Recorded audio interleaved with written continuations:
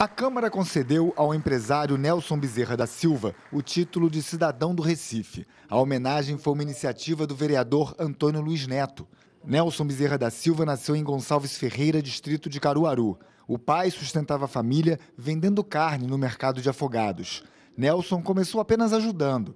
Mais tarde, assumiu e ampliou o negócio. Assim nasceu a empresa Masterboy.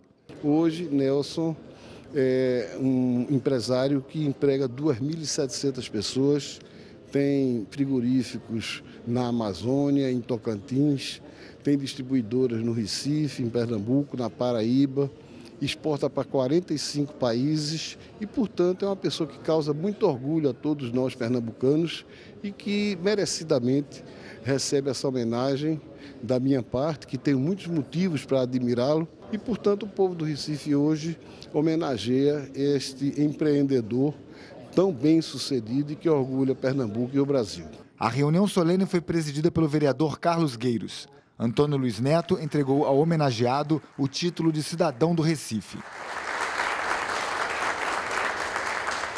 No discurso de agradecimento, o empresário falou sobre sua trajetória. Disse que divide a homenagem com todos os 2.700 funcionários da empresa e que considera o título de cidadão do Recife um reconhecimento pelo trabalho realizado. É um orgulho, né? Fiz toda a minha história aqui em Recife, criei toda a minha família, tenho vários amigos. Meus negócios aqui todo em Recife, apesar que hoje eu tenho outros estados. Então é um motivo de muito orgulho ganhar esse título de cidadão recifense.